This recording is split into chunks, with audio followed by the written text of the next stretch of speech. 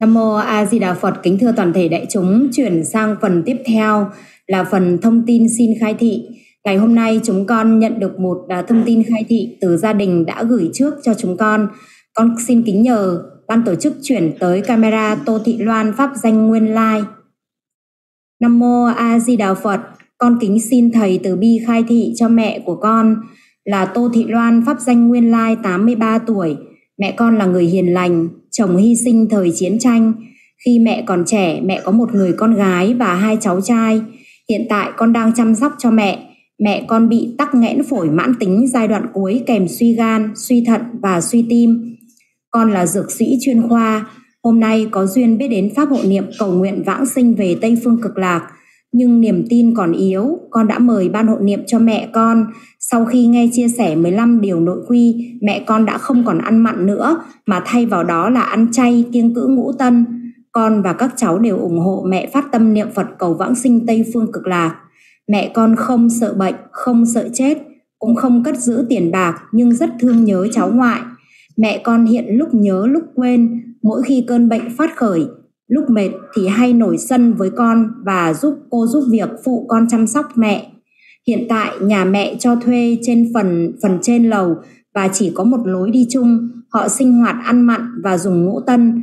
Thưa thầy, như vậy có ảnh hưởng đến việc trong thời gian hộ niệm và cho lúc mẹ con xả bỏ báo thân không ạ? Xin thầy cho con lời khuyên và kính xin thầy từ bi khai thị cho con và mẹ thêm vững vàng niềm tin vào pháp hộ niệm để trong cơ duyên này mẹ có phước phần vãng sinh về Tây Phương Cực Lạc để con cũng làm tròn chữ hiếu với mẹ. Con cũng kính xin thầy điều giải chư vị trong pháp giới hữu duyên với mẹ con. Con xin thành kính tri ân và cảm niệm công đức của thầy cùng ban tổ chức đường Zoom Nam Mô A Di Đà Phật. Xin hỏi là mẹ mình có nghe rõ không vậy ha? Hỏi gia đình mình, gia đình mình à nghe mẹ nghe rõ hay quá. Mẹ đang trong bệnh khổ tắc nghẹn phổi cho nên mẹ thấy vừa ngồi mà do dạ đưa tay lên đi mẹ mẹ đưa hai tay luôn đi mẹ ơi. Mẹ đưa hai tay lên, mẹ vỗ đấy vỗ tay lên đi mẹ. Con mừng lắm mẹ ơi. Hơn sự. Mẹ đưa tay là mình nắm cú hứa với với con đây mẹ. Hứa là mẹ sẽ vãng sanh tây phương cực lạc.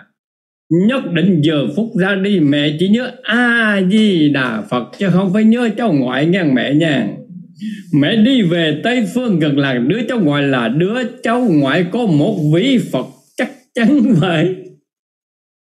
Ngon hơn đứa cháu ngoại có một người khổ nạn, phải không mẹ? Nhất định phải nhớ. Cho nên, con nghe nói mẹ nghe được pháp niệm phật, liền phát tâm ăn chay, kiên cử ngũ tân con mừng lắm. Mẹ ơi, mẹ vỗ tay lên đi, gia đình mình vỗ tay khen mẹ mình đi. Bây giờ gia đình mình có hai cái, có cái nhà hai tầng, cho người ta mướn tầng trên. Người ta ở trần tầng trên, người ta ăn chay niệm phật với mình thì hay lắm. Còn người ta không ăn chay, người ta tiếp tục ăn ngũ tông thì người ta đành phải chịu khổ, chứ không phải mình chịu khổ đâu nha mẹ. Chứ vị mới nhớ là nỡ người nào người đó lấy trả. Khi mẹ mình vãng sanh thì cũng không còn gì để mời họ xuống thăm làm lỗ làm chi tại vì họ là những người không tin Phật. Mình không nên chê trách họ nhưng mà cầu mong cho họ một ngày nào đó người ta tính ngộ ra để người ta đi vãng sanh là được. Gia đình mình có đồng ý không? Ban hộ niệm mình có đồng ý không? Như vậy mẹ mình và con cái của mình đừng lo chuyện đó nữa lo là chính mình phải vững tâm.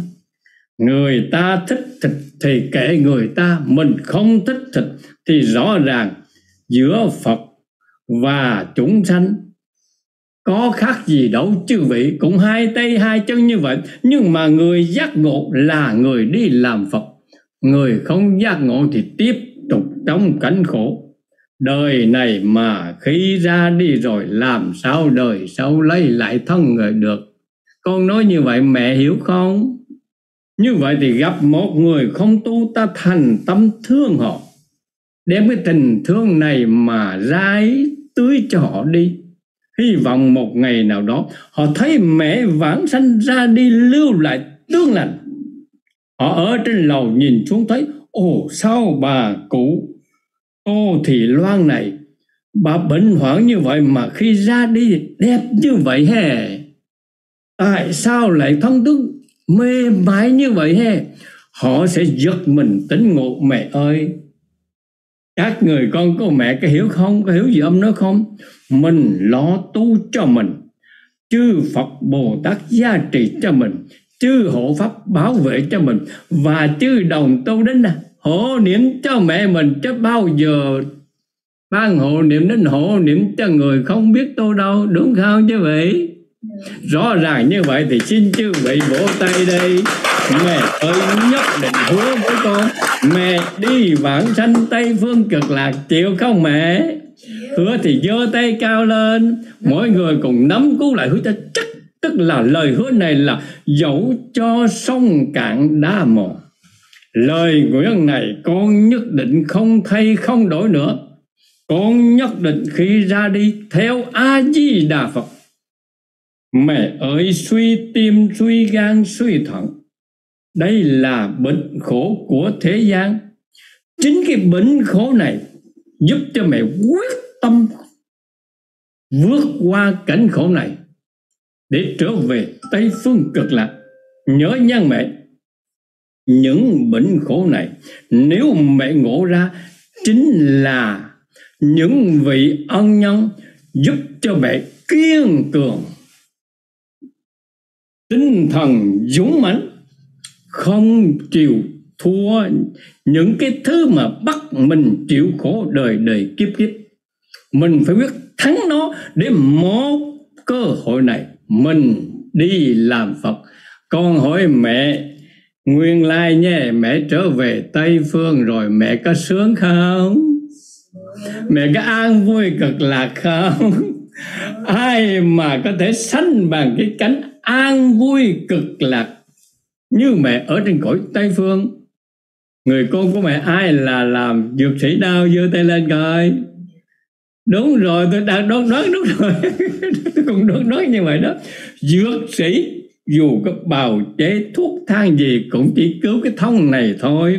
Xin hỏi dược sĩ mình có người nào mà nhờ thuốc của dược sĩ mà sống được tới 200 tuổi không? Hoàn toàn không có phải không? Thuốc tây nhiều lắm, tràn gian đại nhưng mà người chết vẫn chết như thường. Như vậy thì cái thân mạng này là vô thường, là giá tạm.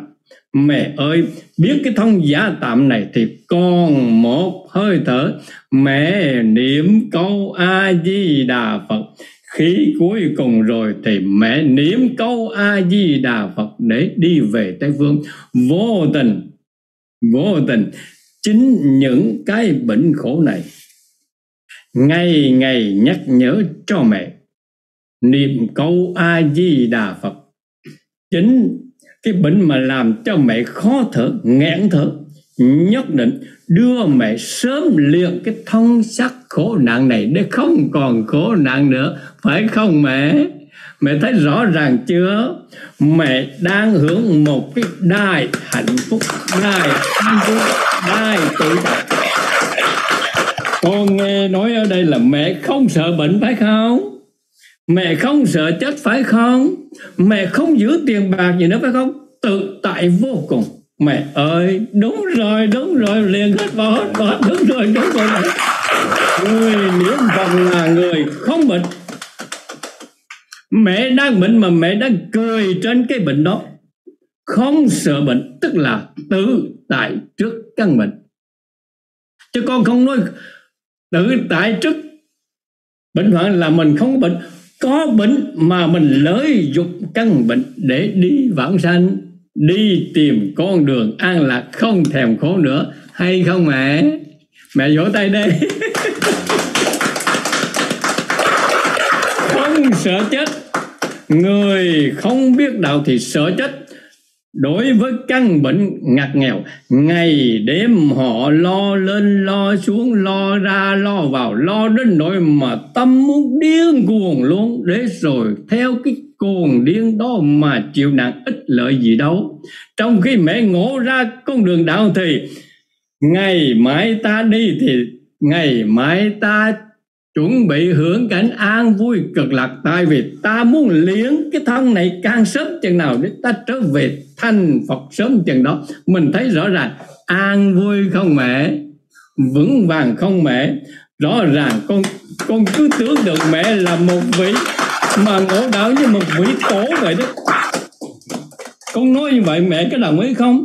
Một vị tổ sư khi ngộ ra con đường đạo, các ngài khó khăn ăn chay nè, rồi à, làm lành nè, rồi tu tập nè, tu cho đến mấy chục năm nhiều cái các ngài tu cả đời luôn. Khổ cực vô cùng, sau cùng các ngài mới được biết được thời gian ra đi. Và khi ra đi, các ngài nhiều khi cũng phải trả nghiệp một lần chót trong khi mẹ mình, hồi giờ đâu có tu nhiều, phải không? Khi gặp câu a di đà phật, ngộ ra ngộ ra và nhờ cái bệnh giúp cho mẹ mẹ sắp sửa trở về tây phương cực lạc rồi. Rõ ràng mẹ cũng dự đoán được là thời gian chịu khổ tại cõi này ngắn ngủi lắm rồi thời gian về tây phương hưởng an vui cực lạc đã đến, sắp đến rồi. Có phải là mẹ? Có thua vì gì một người tổ đâu phải không mẹ? Mẹ thấy có vui không mẹ? Rõ ràng, người nào ngộ ra câu a di đà phật, tự mình làm tổ, tức là tự mình chủ động, vượt qua tất cả ách nặng của nghiệp khổ, vượt qua tất cả sinh tử luân hồi, vượt cả những cái cối mà phiền não của đời này, để mình đi về tây phương mẹ ơi, mẹ vỗ tay lên đi cho con mừng đi mẹ. Nhớ chưa mẹ? Con cái mình phải nhớ nhé. Khi mẹ mình mệt, mẹ mình giận là cái chuyện thường. Con cái nhé. Con cái biết điều, con cái biết khổ pháp với mẹ, thì đừng bao giờ chọc mẹ mình giận nữa. Đúng không? Đúng không, các con của mẹ? Mình là người khỏe mẹ mình là người yếu yếu thì người ta khó khóc một chút. Chứ còn khi mà mình tới đến lúc mà mình yếu mình còn khó hơn mẹ mình nữa đấy hiểu không? Như vậy thì thông cảm cho mẹ. Đừng bao giờ chặt mình mẹ mình giận nữa chịu không? Những điều gì mà mẹ mình không không vui thì mình không làm. Thì tự nhiên mẹ mình vui thôi. Chịu không? Con nói vậy chịu không mẹ? Ừ. rồi mẹ thì tha thứ cho con đi nhé. Con thì nhất định không chọc mẹ nữa. Thì rõ ràng từ một người phàm phu này đang bệnh hoạn mẹ vượt qua phàm phu rồi mới, chư vị ơi, chư vị, sớm là con có một vị bồ tát rồi. Có thấy vinh hạnh không, chư vị? Thấy thì đưa tay lên đây, vỗ tay đi. Nhớ chưa? Tất cả trên dưới ba hội niệm hỗ trợ cho mẹ mình. Chịu âm dặn lại là, mẹ và những người con quyết lòng nghe lời ban hộ niệm nhé. Nghe từng điểm từng điểm làm cho đúng nhé. Để đưa mẹ mình đi làm phật chịu không? Mẹ quyết lòng.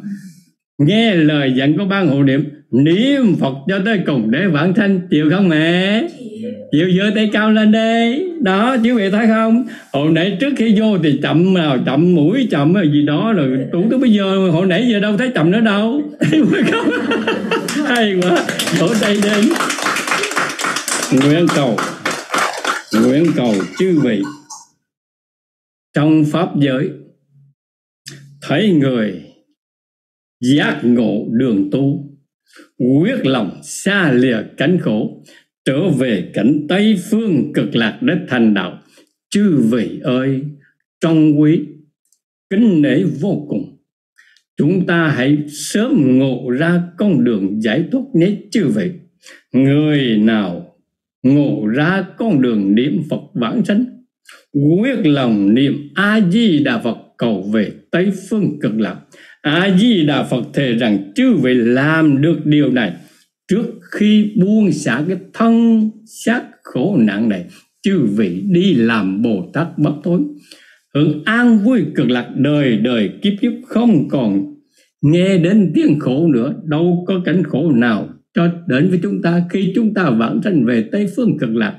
Vậy thì cuối mong chư vị ngộ ra đạo pháp niệm mộng, quyết chí rời bỏ cảnh ta bà khổ nạn này. Hãy niệm a di đà phật, hộ niệm cho nhau, giúp đỡ cho nhau, cùng nhau vãng sanh tây phương cực lạc. Nguyện chư vị phát tâm dũng mãnh, niệm a di đà phật, cầu về tây phương cực lạc. Để một đời này nhất định chấm dứt khổ đau, một đời này thôi, ta đi thành ta đi làm phật nhé chư vị. A di đà Nam mô A Di Đà Phật. Thay mặt à, gia đình của cụ Tô Thị Loan, pháp danh Nguyên Lai, cũng như là thay mặt ban hộ niệm chúng con thành kính tri ân lão cư sĩ đã, Diệu Âm đã từ bi hướng dẫn, khai thị và điều giải chư vị trong pháp giới. Và con cũng kính chúc cho cụ là tự tại trước bệnh khổ, quyết lòng niệm Phật cầu sinh Tây phương cực lạc trong một báo thân này vĩnh viễn thoát khỏi khổ đau Nam mô A Di Đà Phật.